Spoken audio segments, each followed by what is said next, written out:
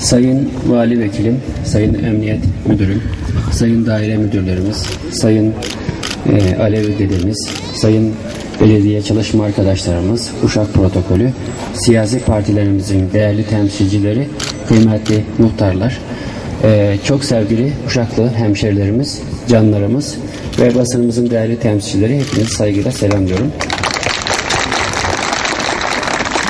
Bugün gerek Fikret Bey'in olsun, gerek dedemiz Nazım Bey'in açıklamaları olsun.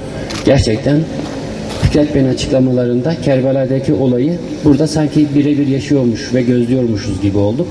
Ondan dolayı da gerçekten duygusal anlamda o anı üzüntüyle izliyormuş gibi olduk.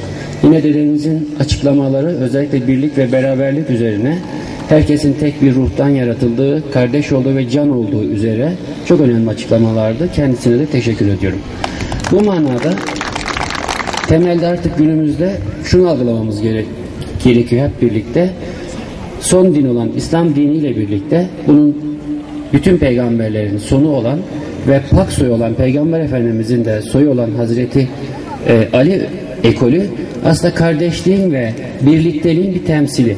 Bu manada bugünün de aslında temel amacı her ne kadar Kerbela'daki olayları e, Yezid'i lanetleme ve aynı zamanda pak ruha Hazreti Ali'ye ve şehitlerimize ee, yine dedemizin dediği gibi Çanakkale, Bedir'den Çanakkale'ye ve günümüze Kurtuluş Savaşı'na kadar bugünümüze kadar olan bütün şehitlere rahmet ve anma günü anlamında çok önemli e, aşırı gürü tertip edilmiştir.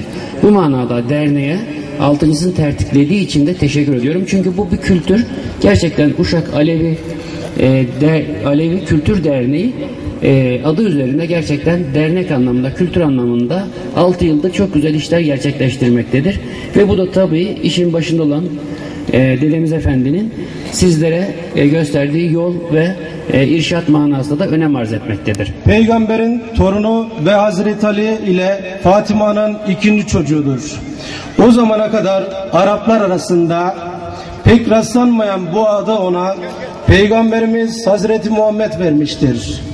Bazı kaynaklarda Hüseyin doğduğu zaman Hazreti Muhammed'in kulağına o cennet çocuklarının efendisi, seyididir diye seslendiği yazılıdır.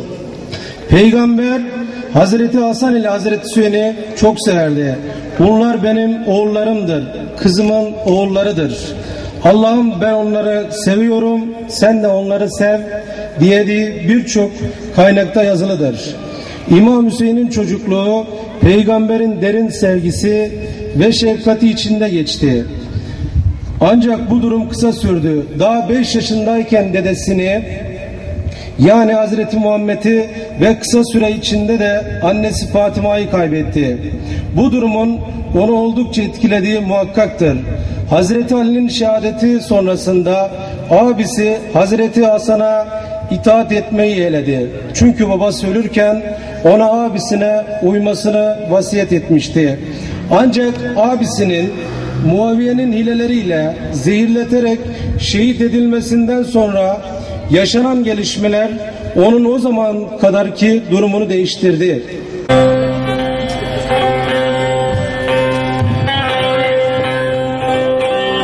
Emrah.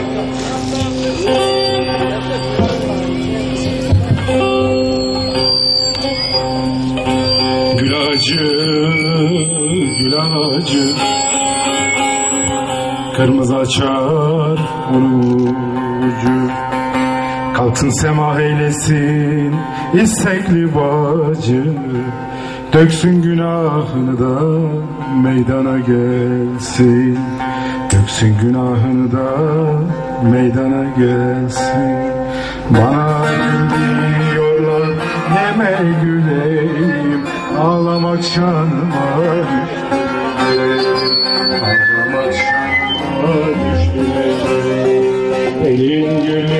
açmış Ali Bey'in Şu benim güllerim solgun eyle Şu benim güllerim solgun eyle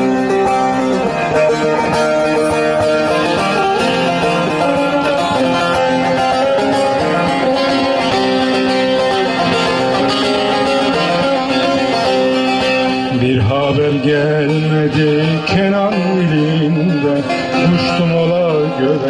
eyledim Günahlarımız hasıl ola, günahlarımız af ola, gönüllerimiz pak ola. Hak Muhammed Ali yardımcımız, gözcümüz, bekçimiz ola. Allah Allah. 12 imam efendilerimizin himmetleri ve hidayetleri üzerimizde hazır ve nazır ola. Allah Allah. Ellerimiz, kollarımız, bedenlerimiz ağrı acı görmeye. Allah Allah. Özür, niyaz, teslim, tecelli hakka yazıla. Gerçeği ya Allah, ya Muhammed, ya Ali aşk olsun. Yeah.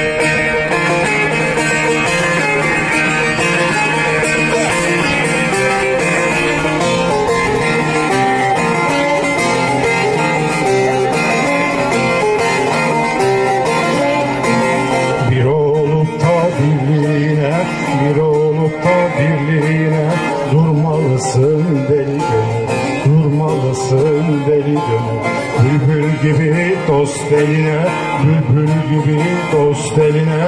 Konmalısın deli gönül, gönül gönül bir hoş gönül. Dost elinden sarhoş gönül, gönül gönül bir hoş gönül. Dost elinden sarhoş gönül